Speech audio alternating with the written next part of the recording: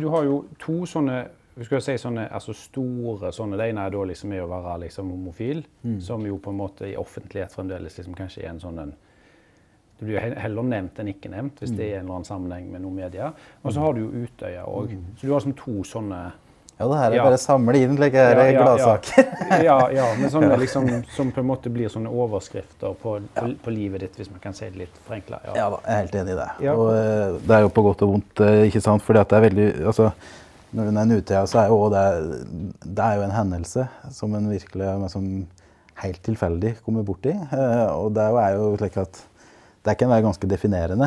og Nugun velger jo nærmest la det definere hvem du er. Mm. Det har jeg prøvd å ikke gjøre, da. Uh, mens det med legning er jo Det er jo virkelig den du er. Og det er bare er slik, på en måte. Det er ingenting som har Som kommer dalende fra himmelen. Det er, det er mer en det er, det er, den du er som person. Så, uh, men, uh, men ja. Det er noe med Når jeg samler opp nok på den lista, så er det jo ingenting som liksom blinker så veldig synlig. Da. Så det er jo litt fint med det. Mm.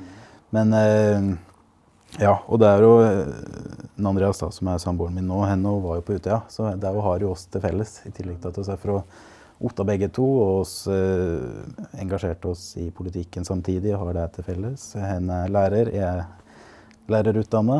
Eh, så, så reiste oss jo sammen på Utøya òg. Oss reiste jo da på, eh, på Utøya den dagen før, og så lå vi i telt en natt. Og så, og så ja var jo den hendelsen. Så det er jo på en måte Den har jo, har jo det òg til felles.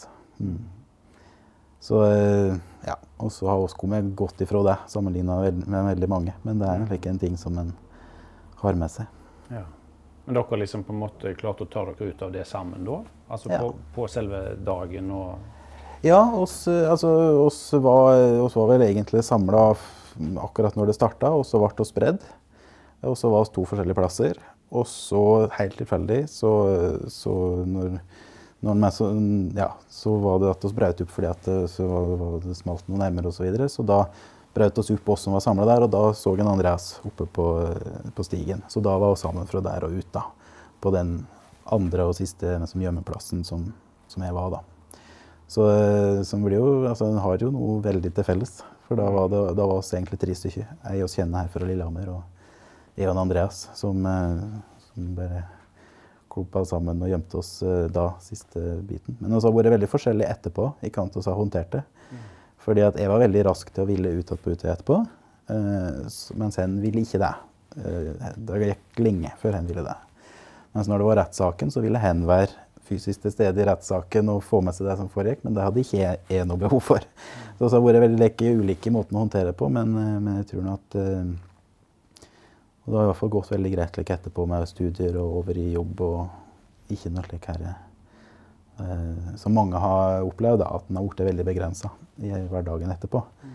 Om det er fysisk eller om det er psykisk. Så, ja. Mm. Og så har jeg valgt å fortsette å engasjere meg politisk. En har valgt å trappe ned på det. En jobber og har ikke noe politiske verv i det hele tatt. Mm. Mens jeg sa jo at jeg, vil, jeg begynte å jobbe i AUF etterpå. Eh, på Youngstorget for å være med å bygge opp et organisasjon, bygge opp et Utøya. Um, ja, uh, ja. Tenkte at nå var det ekstra viktig, da. Mm.